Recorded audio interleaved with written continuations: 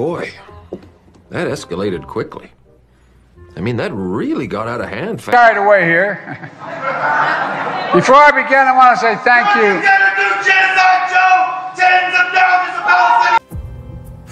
Are you kidding me? Whoa, whoa, whoa, whoa.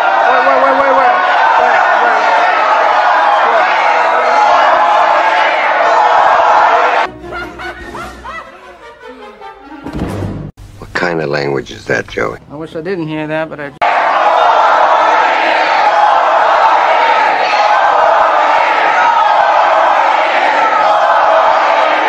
Not bad, not bad.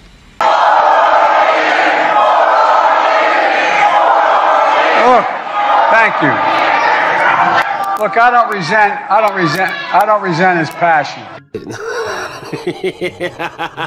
and yesterday he was hosting at his club Viktor Orban, who says he doesn't think democracy works. Many thanks.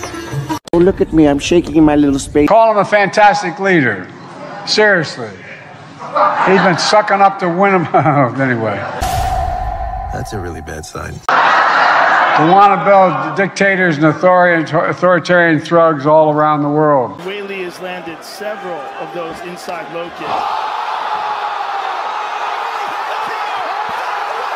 Call him a fantastic leader.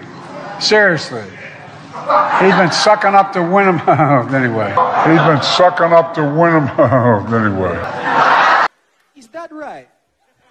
We want to build dictators. We want to build dictators.